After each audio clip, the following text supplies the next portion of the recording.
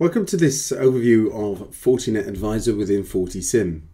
We are starting off looking at events within FortiSIEM where we can see the raw log and past attributes. We want to ask the advisor what other information it knows about this event and what action we should take. In this example, it's going to present the information in a more structured view, maybe a little bit more easier for the analyst to understand and read.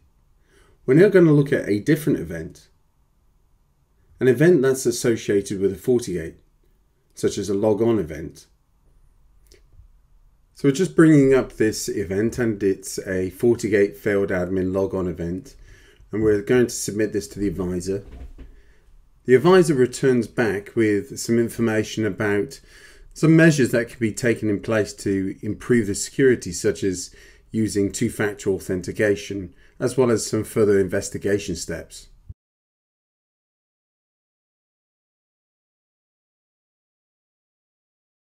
Next, we can move across into incidents. We're looking at the incidents here in a table view. We're just selecting one, successful VPN logons by Teresa Margot. What information does the advisor know about this event? So this incident itself is going to be sent to the advisor. And the advisor is going to return the results and we can see that there's some recommended actions such as investigate the user, investigate the source IP address, maybe consider blocking logons to the VPN from outside of the United States if that's the home country. So it gives some remedial actions there.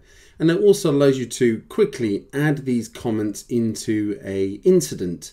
And the incident itself can also be populated with information from the advisor. So you don't have to do this manual step. It can appear ready for you.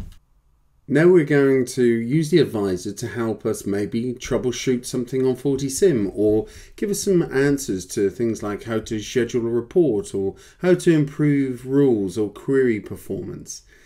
We can also use the advisor to help us generate reports within FortiSIEM. So let's take one of these as an example. Create a report to show the top source IP addresses, destinations and protocols. So the advisor will return back the report XML and with one other click we can move into analytics and run this report.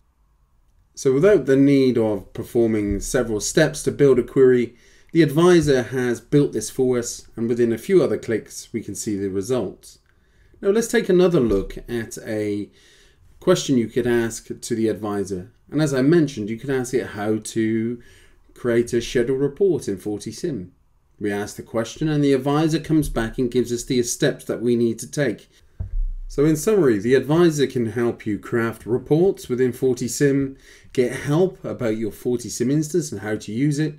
It can also provide you with health information about FortiSIEM and provide incident context either on demand or as an automated process.